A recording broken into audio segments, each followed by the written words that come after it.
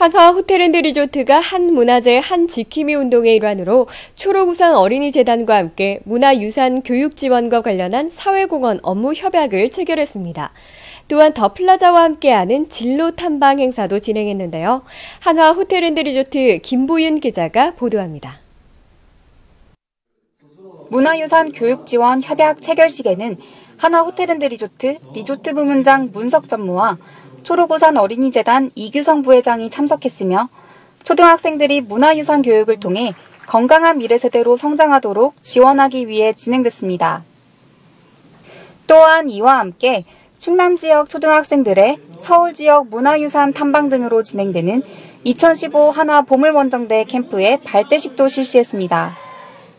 문석 전무는 아이들에게 올바른 역사인식 성립을 위한 밑거름이 되기를 희망한다고 전했으며 한국 홍보 전문가 서경덕 교수가 문화유산의 중요성을 주제로 재미있는 강연도 진행했습니다.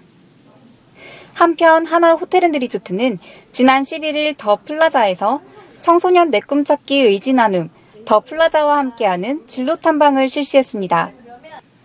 플로리스트, 셰프, 호텔리어, 소믈리에 등 총 4가지 직업군을 주제로 진행됐으며 지스텀 스튜디오에서 미니 부케 만들기, 셰프들과 함께 샌드위치 만들기, 객실 투어, CS 교육 등 한화 호텔앤드 리조트의 전문성 있는 직원들과 함께 실습을 진행했습니다.